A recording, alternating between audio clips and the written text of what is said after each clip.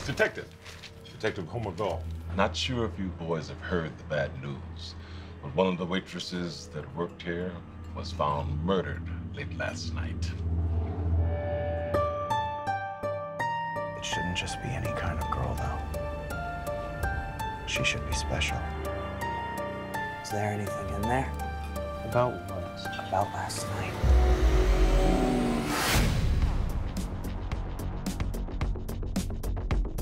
We're ready? We're ready. We've tested ourselves and we've tested others. I say we just push forward. Do you like what you see? You're not being a bad boy, are you? You look like a nasty little boy. The divine tragedies of life, God's love and death. Hey, honey, this is the man that I was telling you about. Can I shake your hand?